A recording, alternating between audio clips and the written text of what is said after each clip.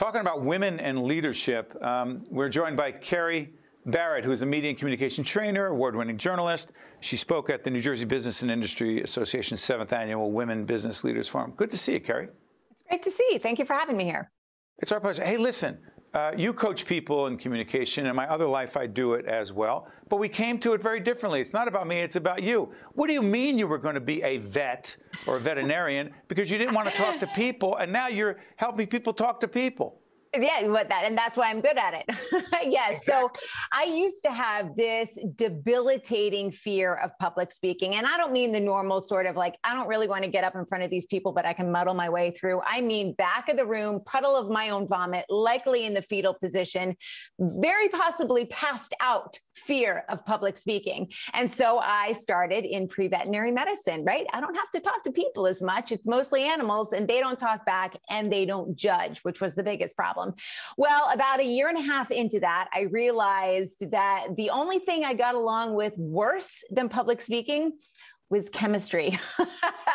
so I had a, I had a nasty breakup with my pre-veterinary medicine major, and I took a year and a half off. And I finally was like, I, I got to get back in the game. I don't know what I'm going to do, but I'll do communications. Namely, there's no math or science.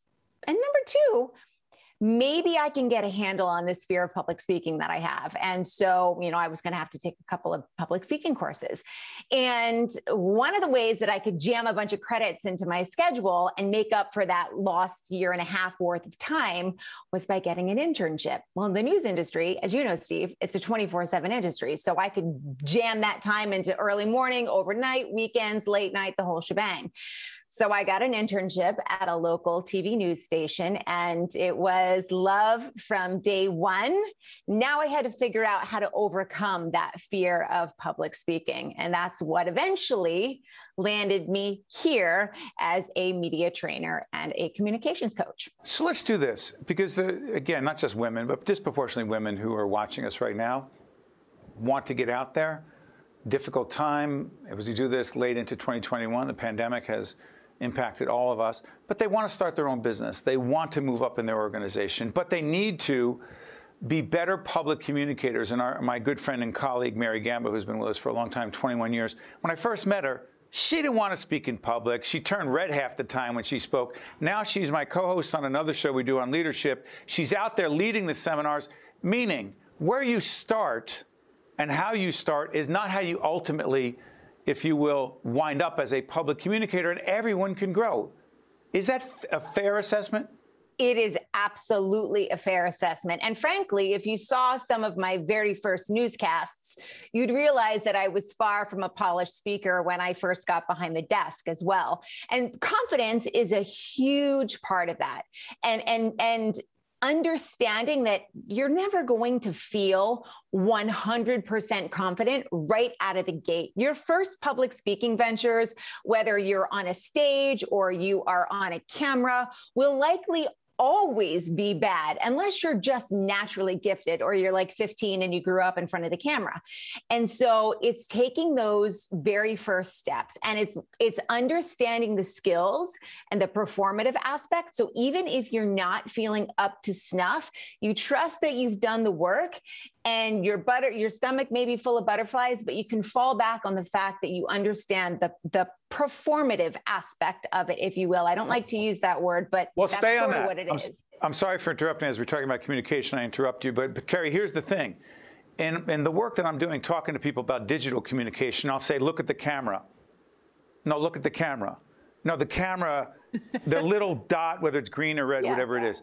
How much of your work now, because you're talking about performing, performing in public, if you will. By the way, we're not teaching acting.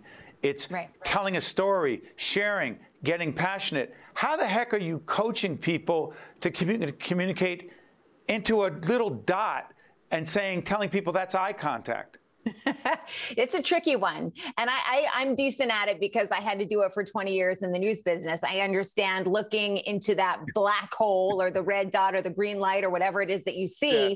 Is the way that I'm connecting with the audience on the other side, right? It feels awkward usually when you start, but nobody on the other side of the lens sees or feels any of that. All they see is you looking at them in the eye. And if you're missing that opportunity, you are hands down missing the easiest way to gain rapport and trust with your audience. You know, if you were having a conversation one to one with someone, you know, face to face in person, you would never have the conversation like this because it's awkward and rude. Right. And after a couple of seconds, the person would wonder what the heck is wrong with you. Well, that's the same thing when you're speaking on camera. So I actually will tell clients who are getting used to it practice for five minutes a day, get in front of the camera and just riff. Whatever it's about, just practice looking in the lens. Put a pair of googly eyeballs next to it if you need to, so you can remind yourself that there's a person on the other side. And then I remind people as well, you know, if you are trying to speak to an audience of millions or thousands or hundreds or even dozens, you speak to all of them, you speak to none of them. So imagine one person on the other side of the lens and talk to that person, and that's how you connect with everyone. But hold on one second. Watch this for a second, folks. This is where the camera is for me. Uh, our great uh, camera operator is here. Uh, Scarlin's here. He's right behind that camera. He's the, there, that camera's there. Kerry's here. So, Kerry, if I conducted this interview looking at you on my screen, I'm looking at you, so I'm making eye contact with you in my head, but am I really making eye contact no. you, with you here? Here is making eye contact. Yes. So, so the yes. point, Kerry's, it's, it's unnatural, but it doesn't matter how you see it, it's how they see it, right, Kerry? It's all about the receiver. The whole point of communicating via camera, digitally, video, whatever it is. I mean, it is the ultimate one to many communication. It's just, it's on steroids. And if you master it, you've got a great opportunity from moving out of obscurity, struggle, fear, whatever it is, and coming out on the other side. But you have to remember it's all about the receiver, it's never about you. Hey, Kerry, before I let people go, for everyone, and I won't do communication coaching because she's the coach today, for all of you who are hiding behind, oh, I only want to be on audio for this meeting. I, I don't really want anyone to see me because of my background, because whatever. Kerry, real quick, 20 seconds or less. Why does everyone need to be on camera unless there is some extraordinary circumstance? Because like i said it is the ultimate way of one-to-many communication. Putting video marketing content out there is a 24-7 365 endeavor. Takes no holidays takes no weekends takes no sick days. If you're not meeting your audience where you are where they are excuse me you're not meeting them. That's kerry barrett. She's part of our leadership and women initiative um, Leadership and Women, Women in Leadership with the New Jersey Business and Industry Association. Kerry, I want to thank you so much for joining us. I learned a lot from you, and I know others did as well. All the best. Likewise. I, I love animals, but I'm glad she didn't become a vet. I'm Steve Adubato. See you next time. One on One with Steve Adubato has been a production of the Caucus Educational Corporation.